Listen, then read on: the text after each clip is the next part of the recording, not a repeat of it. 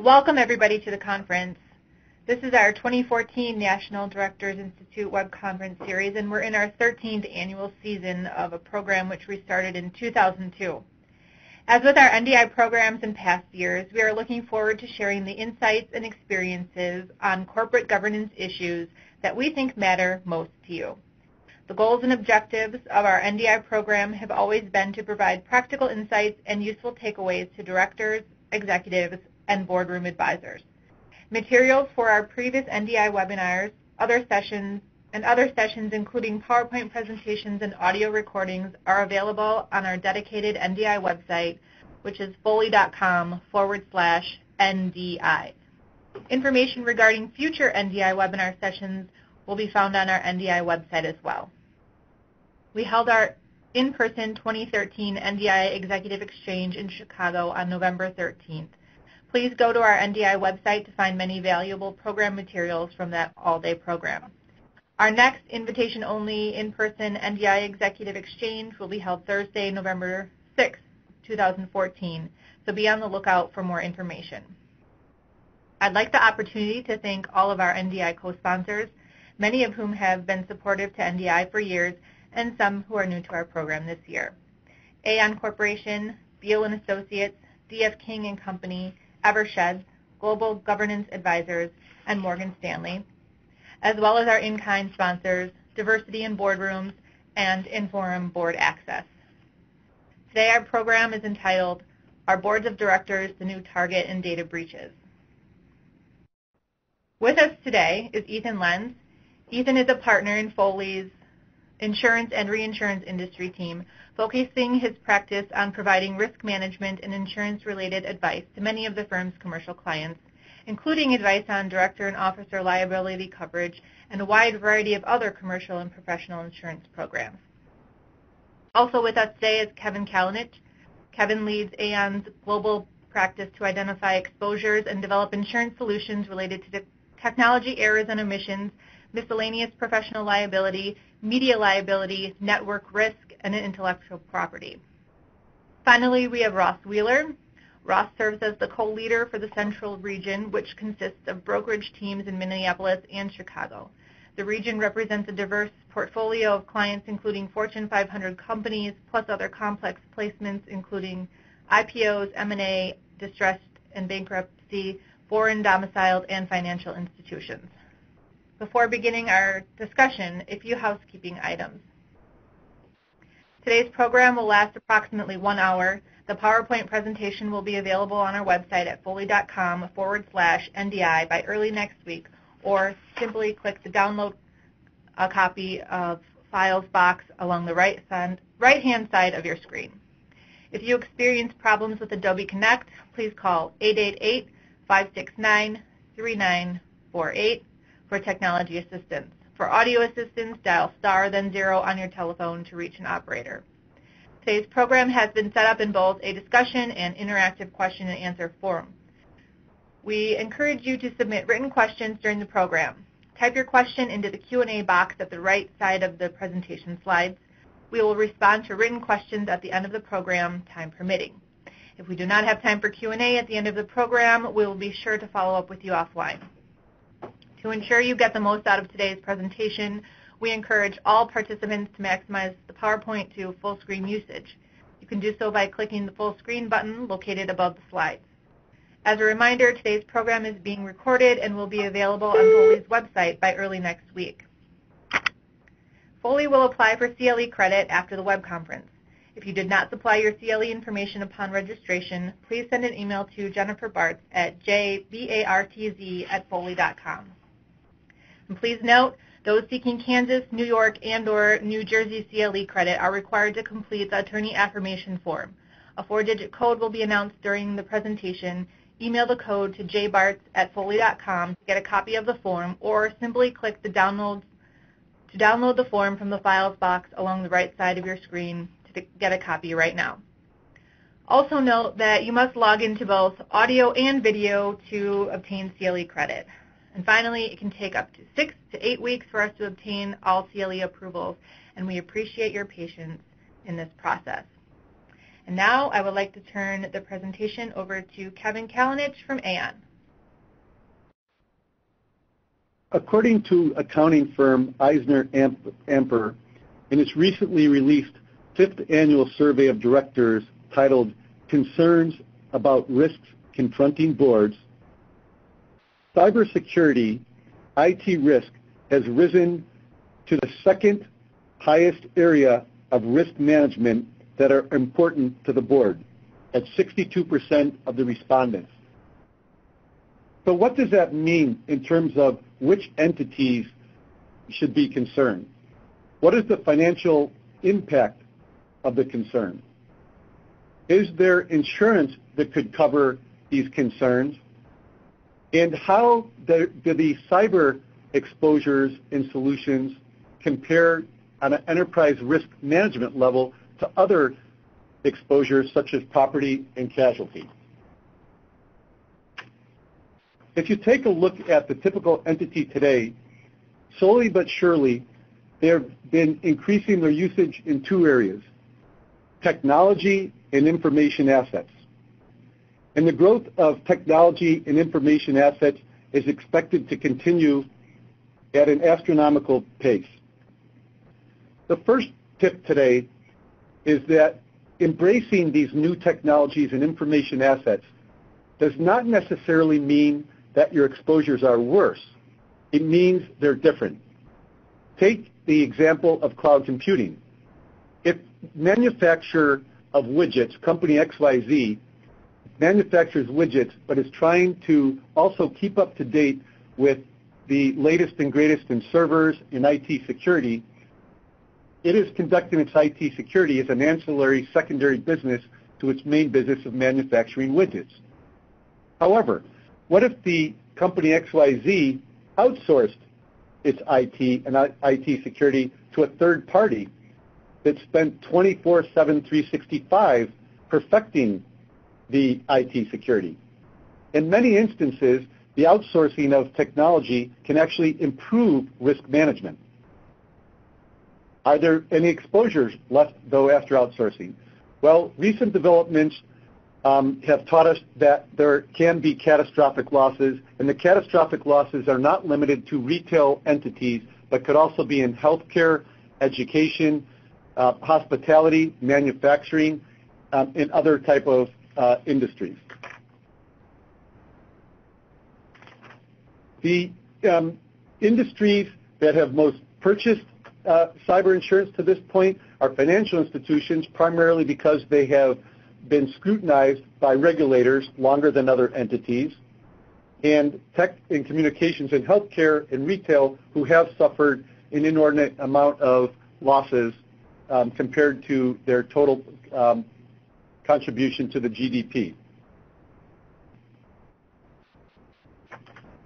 The losses can be calculated by number of records exposed, defense cost, forensics cost, notification of um, aggrieved um, consumers.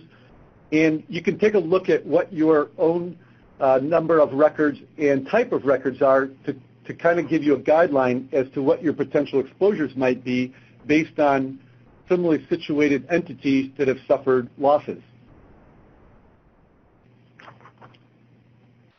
The most forward-thinking entities are recognizing that the increased use of technology and information assets is changing their exposures. And they're recognizing this by disclosure in their um, 10K statements. So if you take a, a close look at recent 10K statements, the first thing you notice is that they like to differentiate themselves from their competitors in similarly situated entities by describing how they're embracing technology and information assets in a more beneficial manner. Then the converse is that is they also must disclose that this new embracing of technology and information assets is creating exposures that could result in material impact to their financial statements. And what type of material impact are we talking about? Well, once the incident occurs, there are 47 states that require disclosure of the incident. Shortly thereafter, the plaintiff's attorneys will file a lawsuit, and um, there's defense and indemnity costs. But another more recent development in the past few years is that the shareholders of the entity start to attack the directors for breach of fiduciary duty, accusing the directors of not satisfying their duties in uh, appropriating the resources to IT security for financial statement protection, including appropriate levels of insurance protection. So I think that at this point, we need to start digging in. What are the sources of claims after a cyber incident? What are those sources that could cause the lawsuits and the stock drop and the derivative shareholder class actions?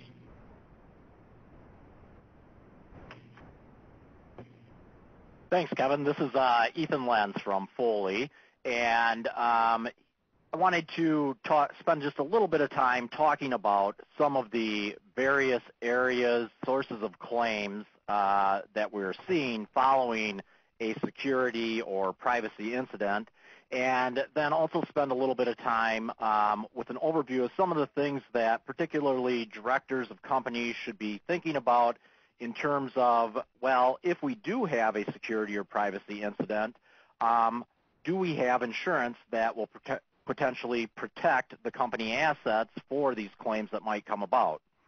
So some of the areas uh, that are most likely to generate claims are some of the uh, persons and entities that are most likely to generate claims.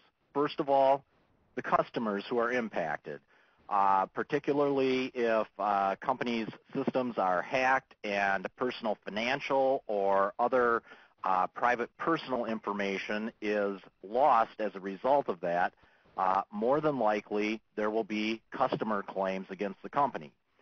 Now, most of the claims by the customers, more than likely, they are going to be focused against the company, naming the company as a defendant, as opposed to individual directors and officers some of the things those customers are likely to be looking for, um, cost to cover the uh, to cover credit monitoring following a loss of their financial information.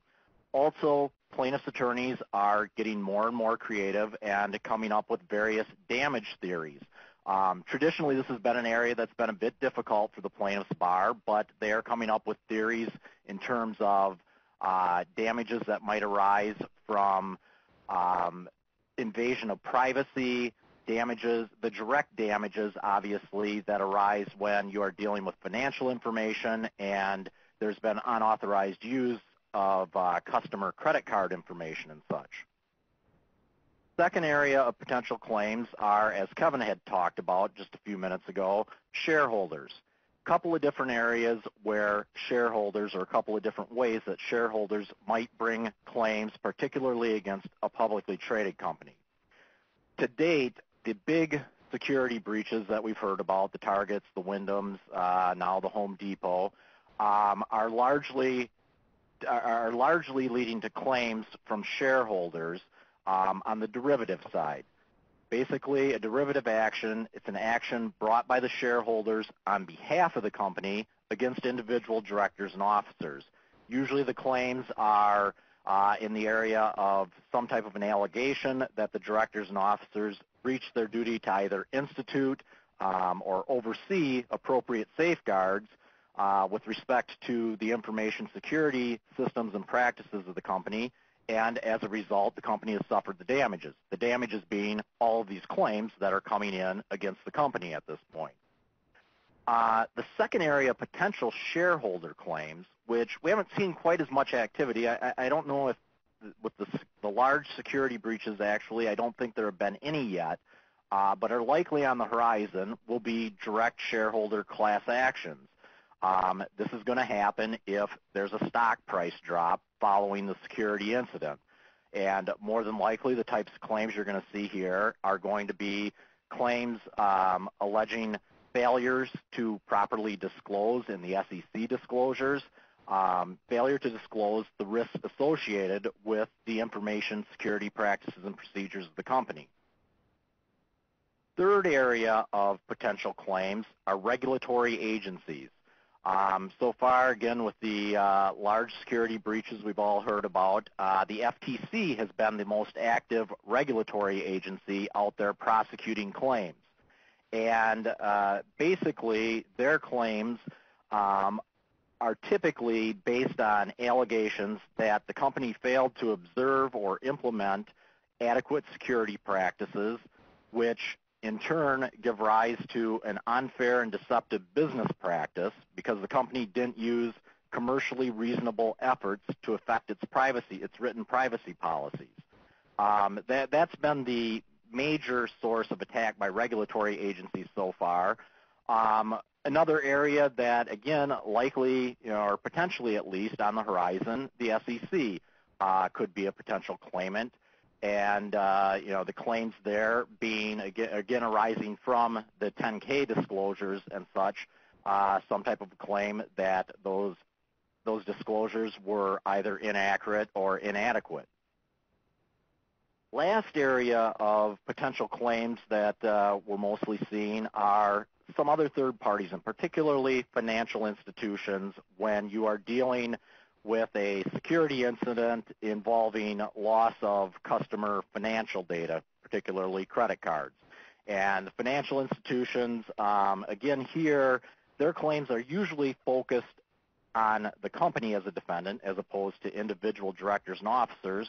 But essentially the claims that they are bringing are claims where they're looking to recover the fraud-related costs that they've incurred because their customers have had an unauthorized use of their credit card information.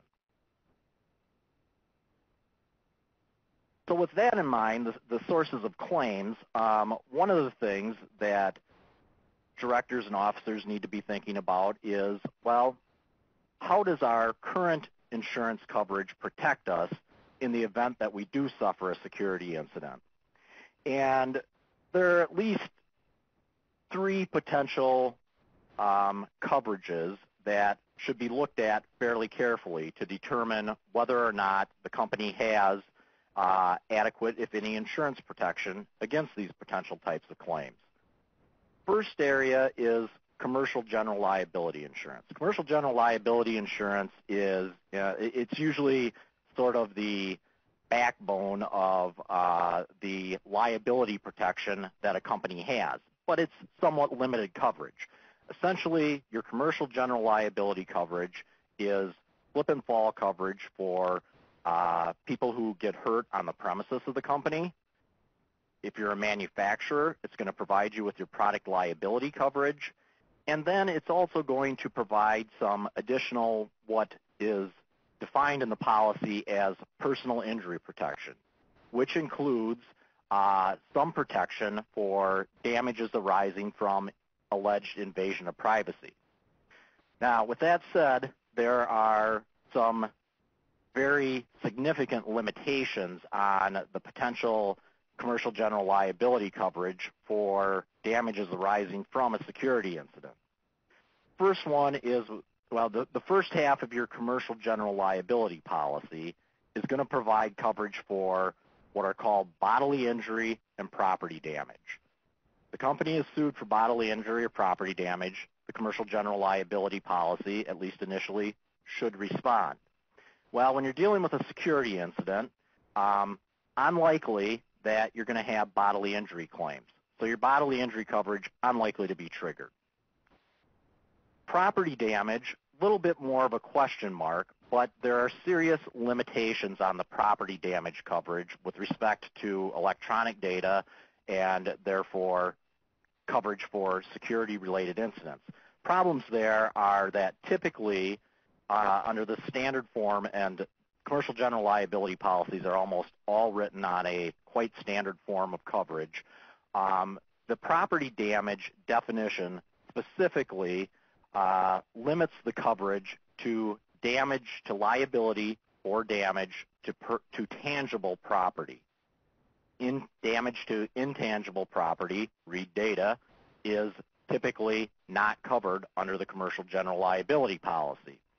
Uh, other thing you run into on the property damage side is that electronic data is also typically specifically excluded um, from the definition of property damage under the policy.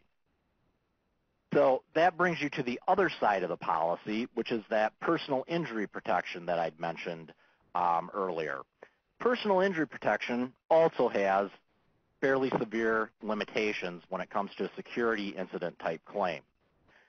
Uh, the main area where you potentially might trigger coverage is coverage for the publication of material that violates a person's right of privacy. The issue here when you're dealing with security incidents, and the large ones that we've seen recently, is that there usually is no publication of material by the company. And what I mean by that is um, when you look at the large security incidents we're seeing, um, they are usually the result of hackers breaking into the company's system and stealing the data. Company hasn't made any publication of uh, material that invades the person's right of privacy. The area where some companies have had uh, a little bit of success in getting coverage under the personal injury side of the, pol- of the CGL policy is uh, in instances where companies have printed credit card information on receipts or invoices, things of that nature. There, there's a much better argument that the company actually was involved in publication of the material, therefore potentially triggering coverage under the personal injury side of the policy. So very limited, or likely very limited protection for uh, claims from security instances, uh, incidents under your commercial general liability.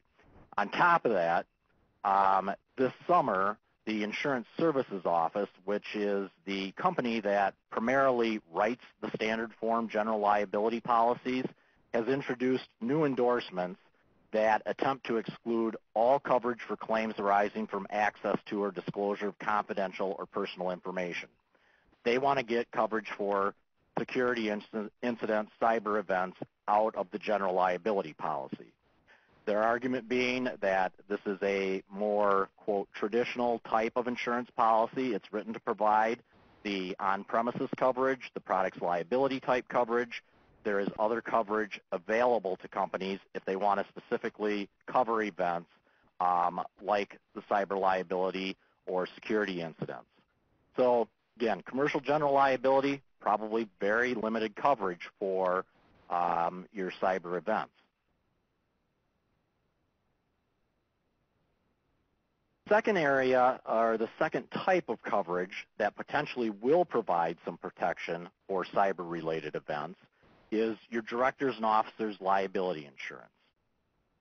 And here, um, the most likely types of claims to be covered are those from shareholders, potentially those from customers, potentially some coverage for claims brought by regulatory agencies uh, and possibly those other third parties, those financial institutions. Um, but you have to carefully analyze how the coverage works under the D&O policy. So your D&O policy, it's going to it's going to provide two basic forms of protection. One's going to be coverage for individual directors and officers. Individual directors and officers are named as defendants in a suit. That's where the D&O policy typically kicks in other coverage of the D&O policy is separate coverage for the company itself. The company gets named as a defendant in a lawsuit. The D&O policy potentially protects the company against its liability as well. So starting out, uh, the coverage for actions against individual directors and officers.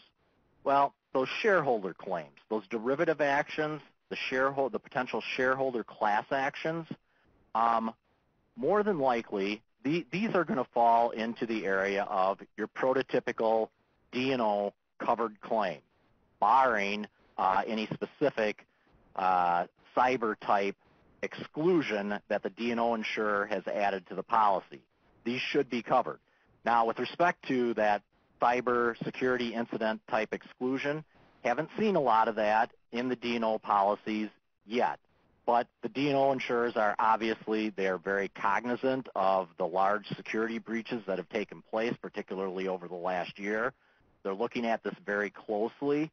And uh, there is some concern that down the road they may start adding these exclusions. In fact, uh, if you're a healthcare entity, you may already have these in your policy. There are some insurers who are specifically adding specific exclusions for cyber-related events to healthcare uh, entities' policies.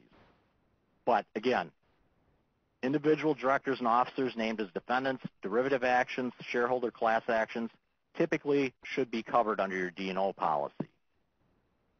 Regulatory agency claims, um, there, again, as I'd mentioned earlier, FTC has been the most active uh, regulatory agency out there prosecuting claims against companies after a security incident. Those claims so far have largely been directed only against the company and are not specifically naming individual directors and officers as defendants. So may not trigger the individual director and officer coverage of the policy.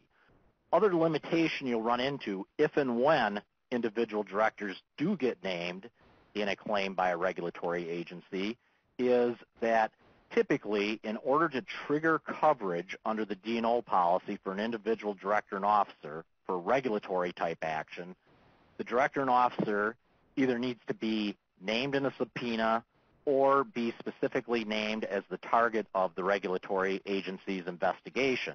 Um, you know, the most uh, likely example of that is a Wells notice from the SEC. A lot of times, informal inquiries where information is requested from directors and officers, um, if the director and officer has not yet been specifically named as a target of the investigation, those informal inquiries and the expenses related to them won't be covered under the D&O policy.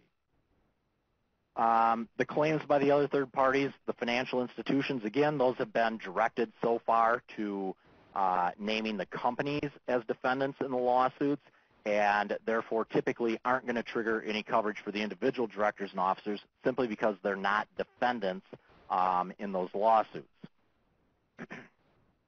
now, when you get to the other side of the D&O policy, um, the coverage for the company itself you run into a little bit of a split in how these policies are work, uh, how these policies work, depending on whether the company is publicly traded or it's a non-public, privately held company. If you are a publicly traded company, usually the coverage for the company itself, when it is named as a defendant, is limited to coverage for securities-related claims. So shareholder class action against usually that's going to name both individual directors and officers and the company as a defendant. Um, that will likely be covered under your D&O policy. Where you're going to run into issues with a publicly traded company D&O policy and a claim against the company is when you're dealing with some of these other uh, claims. Claims by financial institutions trying to recover their fraud-related costs likely not covered under the under the public company D&O policy. Reason being, that's not a securities claim against the company. It's an other type of claim. Regulatory agency claims, um, again, these FTC claims that we're seeing, those are not securities-related claims, likely not covered under the publicly under the public company D&O policy. Um, now, if you are not a public, if your company is not a publicly traded company, the D&O protection is actually much broader for the company itself when it's named as a defendant. Typically covers any alleged wrongful act, which is any error, omission, or act by the company. You there, you potentially have coverage now for claims by financial institutions, you potentially have claims for, you potentially have coverage for claims by regulatory agencies. Thing you have to watch out for on the non-public uh, company D&O policies, though, is a lot of times there will be a very broad antitrust and unfair or deceptive trade practice exclusion on the policy, or sometimes a sublimit of coverage. So you might have a $5 million overall uh, policy limit but a $1 million sublimit for unfair and deceptive trade practice uh, type claims. And there, that exclusion or that sublimit can kick in and either completely knock out or at least deplete the coverage for um, the for for the company for those uh, FTC type claims. Um, so at this point, what I want to do is uh, I'm going to turn it over to Ross, and Ross is going to take you a little more in depth on some of the specific D&O claims issues that arise with these types of incidents. Thanks, Ethan. Again, good morning or good afternoon. It's, it's Ross Wheeler. I'm, I'm going to spend the next few minutes just dissecting a derivative claim in a little bit more detail. It's, it's a type of claim that's been discussed a few times by, by Ethan and, and Kevin. Um, and, and, from my perspective, from what I've seen, it, it's, it's definitely the most talked about D&O as it relates to a data breach, and, and we, have seen some claim activity uh, specific to um, derivative claims. It's, it's, also of particular relevance for today's discussion. Obviously, the, the title of this session is Our Board of Directors, the New Target in Data Breaches, and in essence, a derivative claim definitely targets uh, you know, individual Ds and Os. And so a quick, a quick refresher. Uh, derivative action is a lawsuit that's in essence initiated by corporate shareholders. It's brought by the company against the directors, officers, and management of the corporation for failure to, to manage. In essence, the thought process here is that the balance sheet has been harmed and it's holding you know, the individuals accountable. In, in terms of the process of the procedure, a demand is initially filed by a shareholder requesting the board to bring a civil proceeding. So what the, what the company does is typically they'll form a special litigation committee. The board will investigate the, the merits of, of, that, uh, of that allegation um, and determine ultimately whether it's in the best interest of the company to, to bring litigation. Again, remember the thought process being the balance sheet has been harmed, and so any recovery that comes from that uh, that litigation reimburses the balance sheet for for uh, the harm that's been caused. Uh, there are definitely significant costs associated with these special litigation committees, some of which are definitely insurable under D&O policy. Um, so ultimately, if there's any merit to that uh, to that complaint, then the claim is brought. Um, in, in, a minute, I'll discuss coverage implications, but but what's most concerning for individual Ds and Os is that typically derivative claims are not indemnifiable. Um, and, and, to take that a step further, derivative settlements are typically not indemnifiable, subject to individual state law on indemnification. And so Delaware, you know, I just dissected this because it's one of the more common states of incorporation. Delaware allows for indemnification defense costs, but not settlement amounts. Um, with that being said, Delaware code does permit for the ensuring of judgments or amounts paid. So basically, um, you know, if there's a settlement or a judgment, asset of insurance, it'd be the personal assets of the Ds and Os that are responding. So, so the next slide is a quick case study, um, and, and, really here's what to expect from a D&O perspective in the event of a data breach. What we typically see, what we have seen is allegations, which include breach of fiduciary duty, and, and more specifically, wasting of corporate assets. And I'll define that in a bit. Um, but um, but these these types of claims are, are targeted at individuals. So we, we typically see uh, you know CEO CIO function, and then um, we'll, we also see see lead independent director named as a defendant and other individual directors. Um, Ethan had mentioned you know the the uh, the other concern, which would be a shareholder class action claim. And, and, in some cases, you know, either there's a threat of litigation or we have seen litigation uh, related to uh, basically a stock drop associated with that data breach, and, and the, the, allegations are the Ds and Os violated federal securities laws by failing to disclose. And, and, I think what, what the SEC is really focused on and what Wall Street's been focused on is the timeliness of the disclosure. And so if you think back at you know some of the headlines we've seen, um, you, you, know there, there's typically a, a, a, lag or a delay in terms of when the when the incident was first discovered and ultimately when that was disclosed. And I know that the SEC, this is kind of an evolving topic, uh, but they previously issued some guidance, and certain security breaches require mandatory SEC disclosure requirements. So, he, you know, this is, um, I think Kevin had mentioned earlier, risk factors, and, and this takes it a step further, and, and, and you know, we're starting to see uh, in, in 10Ks uh, companies specifically reference um, you know, um, data breaches and, and, and citing that as a risk factor. And this is a, you know, real life example here. It's, it's um, um, excerpted from uh, a, recent 10K filing from a, a, company we're all familiar with. Um, but it's interesting. I mean, basically, they're disclosing to Wall Street and to their investors uh, the fact that, that they do deem this to be a significant issue and a significant concern. I highlighted here, you know, something that's of particular relevance, where they, they say uh, if we experience a significant data security breach or failure to detect and appropriately respond to a significant data security breach, we could be exposed to government enforcement actions and private litigation. They go on to say, you know, could hurt our reputation, increase labor costs, affect how we operate our business. Um, so uh, again, remember here that, that with a derivative claim, the argument that the balance sheet's been been harmed. You know, we see this type of disclosure. It's it's, it's very industry specific. Some industries are higher risk. Kevin mentioned FI, communication, healthcare, retail. Those are the industries that uh, we're seeing the most disclosure. Um, so in terms of what you know what we see in terms of damages alleged, um, you know here's what the what the plaintiffs are are alleging in terms of uh, waste of corporate assets. Um, and again, you know, the allegation would be failure to supervise, failure to manage. Uh, had this data breach not occurred, you know, these costs never would have been incurred. So here's an example of, of some of the, the different types of expenses uh, from a D&O perspective that we see in a derivative claim. Costs incurred from defending and paying any settlement in consumer class action filed against the company. So again, you're, you're responding to other litigation, and obviously those costs can be significant. Uh, we also see uh, allegations or damages alleged for regulatory investigations in the data breach, uh, you know, including not, not limited to liability for any potential fines. So whether it's the FTC or the SEC, fines associated with that, but more importantly, the actual investigation that, that, that happens.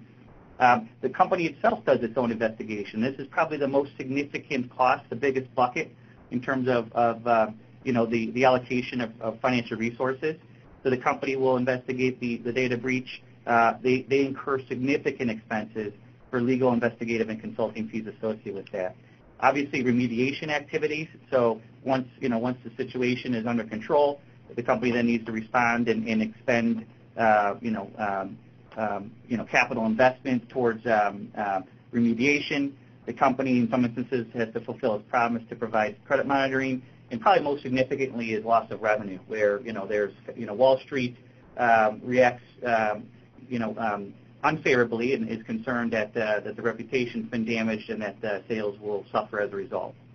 So the, the last couple of slides, these are more, you know, from a, um, as it relates to, you know, the D&O um, underwriting process as well as the, you know, the D&O policy response. You know, we're starting to see more inquiries from underwriters specific to cybersecurity and cyber breach. Uh, this is, you know, becoming a, a, um, a regular topic in underwriting meetings. Um, you know, some may remember back in the year 2000, you know, Y2K, that was, you know, um, we would incur or, or experience significant questioning uh, along those lines. And so, you know, what I did here is just jotted down uh, some of the more common inquiries we've seen. Um, you know, the first three are proactive. The, the last one's more of a reactive uh, inquiry. But first and foremost, you know, there, there's inquiry on specific risk factor disclosure. So step one would be to, you know, take a look at your own 10K or, or, or your peers or your competitors see what they're disclosing and, and be prepared to comment on that.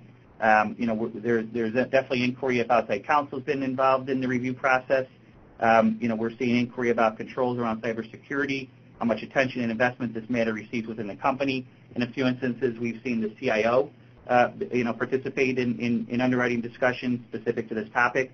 And then the reactive question is, you know, definitely inquiry about the incident response and crisis management program. So, you know, if an incident happens, you know, how does the board respond? How does the company respond? And again, this kind of gets at mitigating the total costs incurred, you know, after the fact.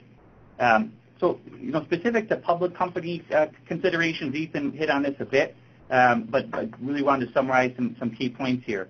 Um, again, with, with, you know, as it, as it applies to coverage for the entity, um, if there is a corresponding securities claim and, and, and you know, then, then that portion of coverage is triggered for the entity the entity itself would not qualify for coverage if, uh, if, if it finds itself subject to um, an investigation. With that being said, there is investigative coverage that will apply for the individual. So, for example, the CEO, the CIO, if they find themselves uh, being investigated individually, uh, then uh, the policy should respond, you know, subject to the, the certain triggers. Um, I, I, wanted to make this point that the derivative claim absolutely triggers coverage. Uh, you know, th- there's a lot of inquiry about um, you know, what happened from a D&O perspective. And, and there, there's no, at this point in time, there's no exclusion or no restriction as it relates to, uh, you know, a derivative claim arising from a, a data breach uh, that would uh, impact coverage. Now, there are issues potentially with the definition of loss and other areas that may impact, you know, what's subject to reimbursement, but the claim itself will absolutely trigger coverage. So again, I talked about, you know, fines and penalties that would typically fall outside the scope of coverage. Um, you know, bodily injury, property damage exclusion we don't see this much in the public company space, but like Ethan mentioned, you know, you definitely want to make sure there's no privacy exclusion. You know, the professional services exclusion, we see this on a case-by-case basis. It's, it's really more industry-specific. Um, it's not standard, but, but if, if coverage is subject to a professional services exclusion, what we would recommend is you know, a couple carve-outs. One would be a securities claim uh, carve-out, including derivative claims. So basically, you know, the insurer can't trigger that exclusion if, it, if, there's a, if, if the claim is brought in the manner of a securities claim or a derivative claim. And also, you know, we, we see an exception or want to see an exception for Side A claims, not indemnifiable claims. And so that's where the Side A DIC policy, to a certain extent, may also kind of complement, uh, you know, the, the underlying coverage. Uh, and again, especially for claims against individuals, which a derivative claim is, uh, the Side A DIC policy could be triggered as well. With that, I was going to turn it over to Jennifer for a quick housekeeping comment, and then uh, we'll continue from there. Thanks, Ross. For those seeking CLE credit, please enter the following four-digit code into the CLE credit box that should now be appearing on your screen. The code is EUMS. That's E as in echo, U as in uniform, M as in Mike, and S as in Sierra. Additionally, those seeking Kansas, New Jersey, or New York CLE credit are required to use the same four-digit code to complete the attorney affirmation form. The code is EUMS. That's E as in Echo, U as in Uniform, M as in Mike, and S as in Sierra. To obtain a copy of the attorney affirmation form, download it from the Files box at the right-hand side of your screen or email Jennifer Bartz at jbartz at foley.com. This concludes our CLE announcement. Ross, over to you. Oh, I'm sorry, Ethan. yep, actually it's going to be Ethan jumping back on here. Thanks, Jennifer. Um, so what, so we've uh, been talking about the uh, potential sources of claims and uh, the potential sources of insurance protection that might be available out there, particularly the commercial general liability and uh, the D&O policy. The third area of potential insurance coverage is if the company carries specific cyber liability related insurance policy. It carries a cyber liability related insurance policy. Um, here, in terms of these third-party claims, uh, your most likely sources of coverage are going to be for uh, claims by customers or those financial institutions um, and for and potentially for claims by regulatory agencies. And some of the potential coverage you're going to get under a cyber liability policy um, might be, uh, first of all, the breach notification and credit monitoring. As Kevin had mentioned early on, there are, I think it's 47 states out there right now that require uh, notification to customers and other affected individuals following a breach incident. Um, so the notification requirements in compiling who needs to be notified, how that notice needs to take place, when it needs to be sent, um, all of those related expenses, those can mount fairly heavily uh, quickly. And uh, then typically the other response of most companies, it's required in some states, uh, not required in others, but uh, usually part of the response if there's a large uh, if there's a large security incident, is to provide the customers with credit, credit monitoring services. Um, those types of, of uh, costs, the breach notification, the credit monitoring, usually very unlikely to get coverage for those under your D&O policy. The reason being is those are usually proactive steps that proactive, though very expensive oftentimes, steps that the company is going to take um, before claims are actually made by the customers. Well, if you don't have a claim already made, your D&O policy isn't going to cover it. That's where your cyber liability can potentially come in uh, because it will cover these types of pre-claim notification and monitoring costs. Uh, other specific coverage you get is for um, is the coverage for liability for disclosures. Again, um, for those um, for, for those claims that might be brought by customers um, or by the financial institutions, usually going to be focused with the company as the named defendant. Publicly traded company, no coverage under the D&O policy. will likely have to look for any coverage under your cyber liability policy. Um, last area of what I'll call true liability type protection under the typical cyber liability policy is regulatory actions. Um, here, most cyber liability policies at least offer an option to cover, to provide coverage for regulatory related actions. Again, very important um, if this is a risk that the company has determined should be covered by insurance and it's a publicly traded company, um, very important that this be in your cyber liability policy because, again, FTC so far has been the most active agency. Not a securities-related claim. You're not going to have coverage for the company under the D&O policy. Have to look to the cyber liability policy um, for potential coverage. Now, as Ross had mentioned with uh, the regulatory actions under the D&O policy, usually to the extent there is any coverage for actions against individual directors and officers, there's usually also an exclusion for fines and penalties. You will often find that in the cyber liability policy as well. Although with that said, um, these policies are not standardized at all. Um, every company writes them on their own paper. Sometimes you will be able, to, you will find, or you'll be able to negotiate uh, some coverage usually limited for fines and penalties, at least to the extent that uh, indemnification by an insurer is not prohibited by law for the fines and penalties. This next slide, um, I think th this is a slide that Aon provided. I think it's a very good slide with respect to the scope of potential coverage under a cyber liability policy. And the, the thing too, one of the things with cyber liability policies is these are typically what I call menu-driven policies. You, they, there are a number of different potential coverages provided under the policy, and a company can pick and choose which ones they actually want to buy.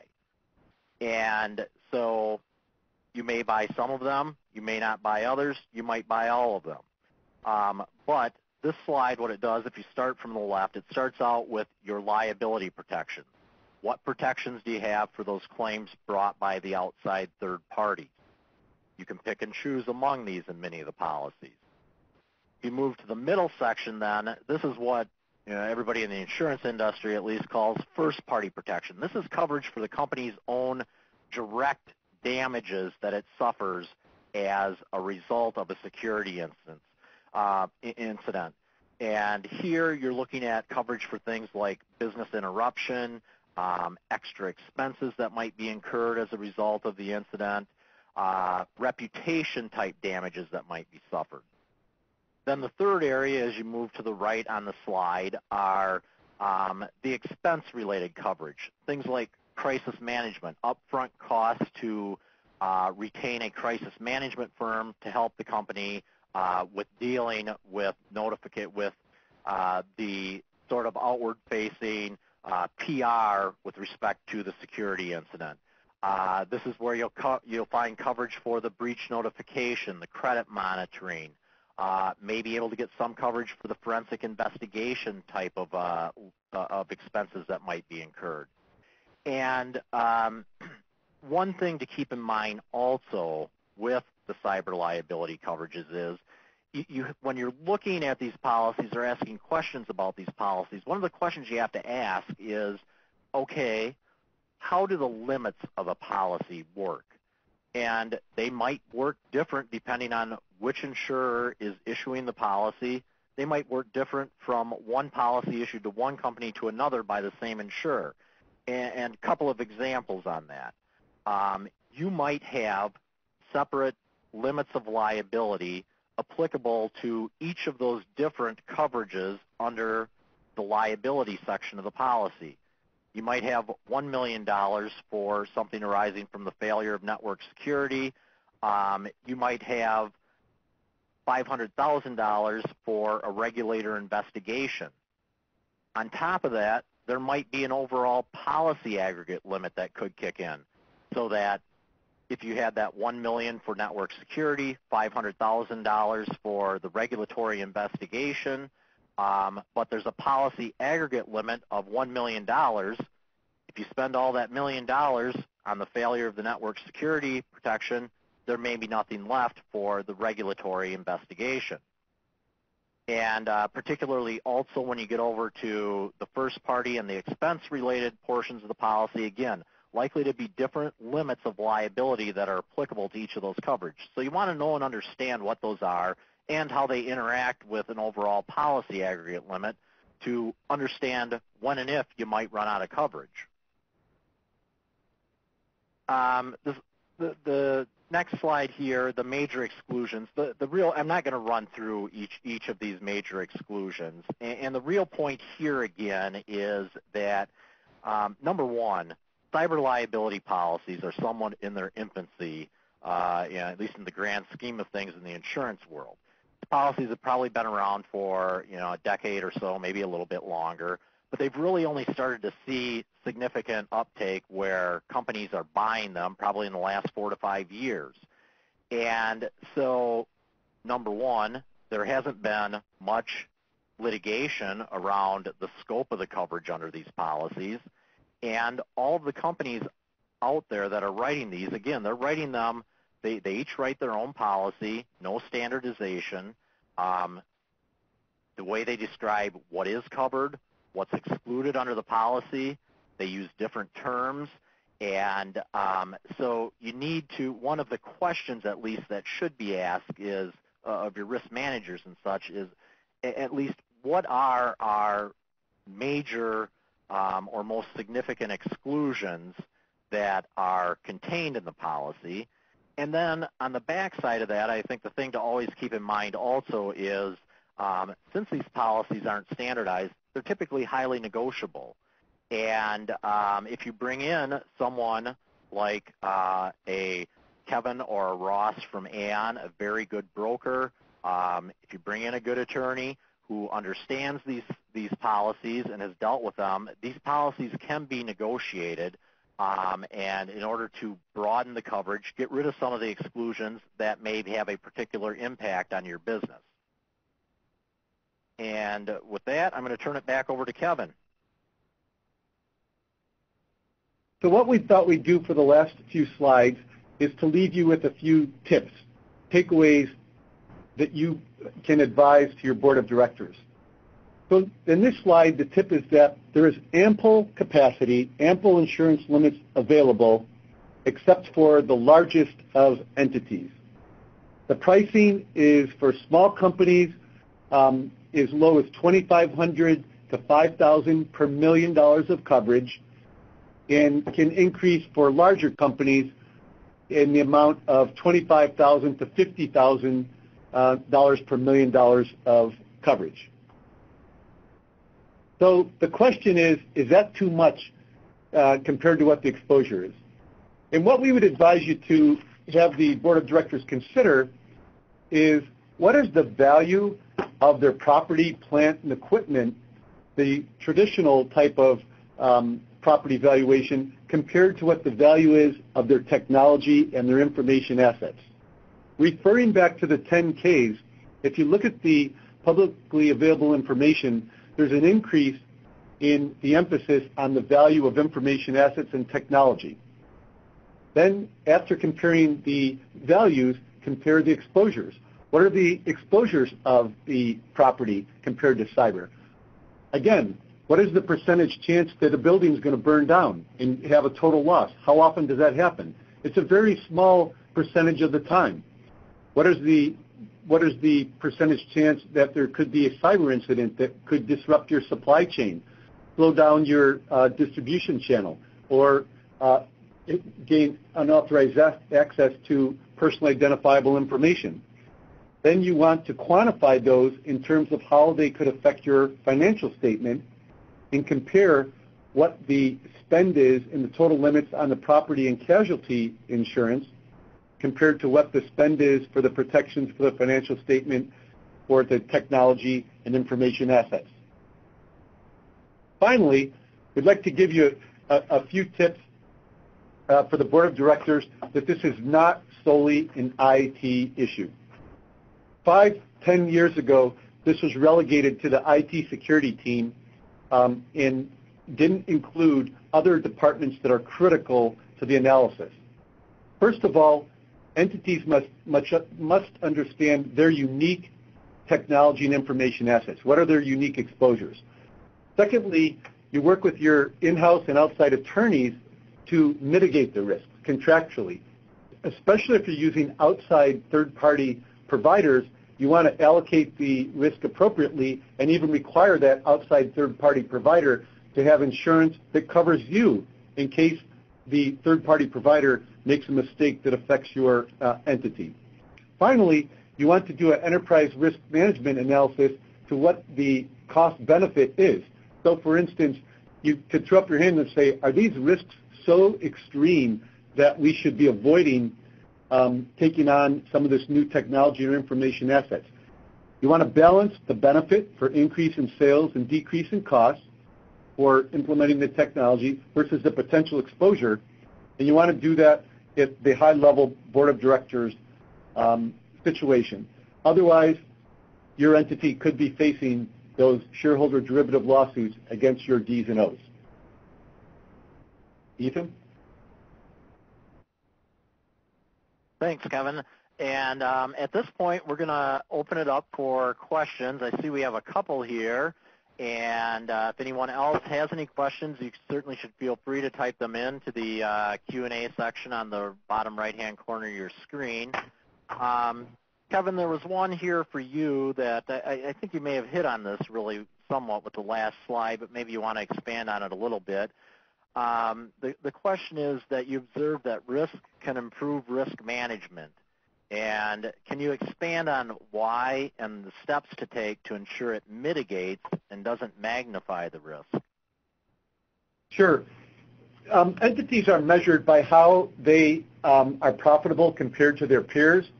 And it's quite clear that embracing technology can increase your productivity. And so you need to measure the increase in productivity versus that risk. And so the answer can't be the ostrich approach of putting the head in the sand. It's got to be embracing uh, the technology on an enterprise level in a logical, cultural manner that um, permeates throughout the entity. That means training your employees to what they should have access to and what they shouldn't have access to.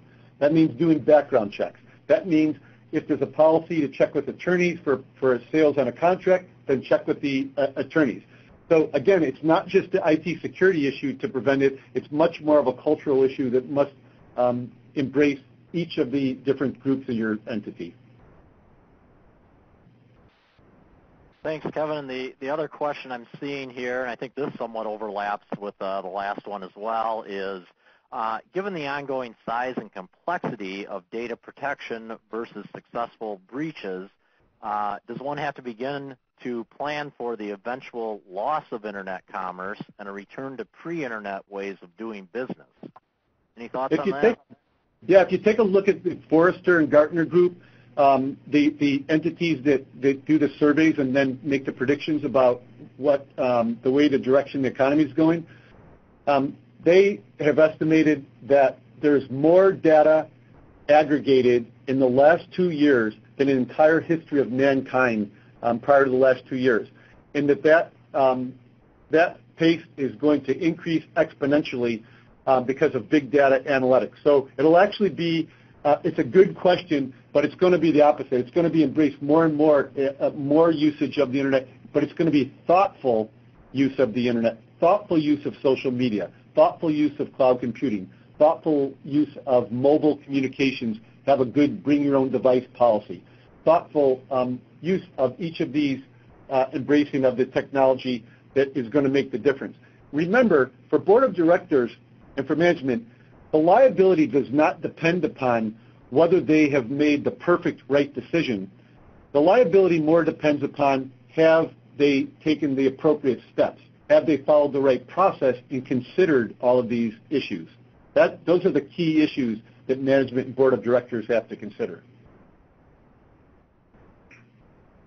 Thanks, Kevin. And then I, uh, we got one more question here uh, that we can maybe hit on just real quick, and that is uh, are we aware of any industry captives considering offering this type of insurance? Um, I can give you a couple of thoughts on that.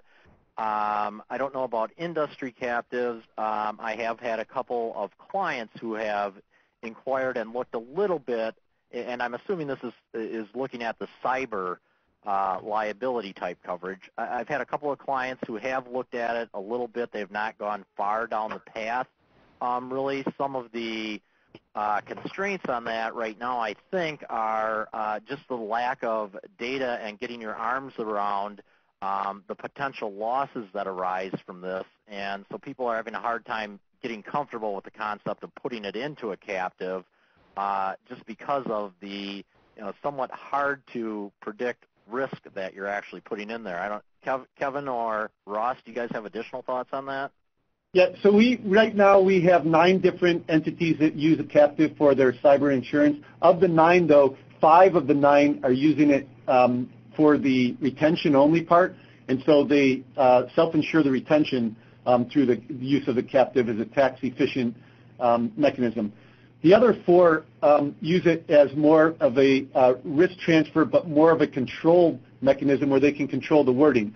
So Ethan and Russ uh, both pointed out that the negotiation of the wording is key to these policies. The base wording typically will have material exclusions. So what those other four entities out of the nine that put it in the captive is they wrote their own policies. They put their own wording in of what would be included in the uh, coverage. And that, then you can expand it to include patent infringement, antitrust, um, all the fines and penalties um, that you might want to consider. However, of those four that put in the captive that were not the retention, that use it for risk transfer, only two of them got it reinsured. So two of them um, uh, are self-insuring that captive, whereas two of them actually reinsure out the um, risk to insurance companies and reinsurers through the captives. Thanks, Kevin. I uh, it, you know, we're we're now just a little bit past the the top of the hour, and um, if anyone has questions, uh, the contact information for myself as well as Kevin and Ross is uh, contained on this uh, last slide. Feel free to contact us, drop us an email, give us a call. Happy to talk with you. Um, actually, I see my phone number. Uh, it's actually 5835 as opposed to 5320.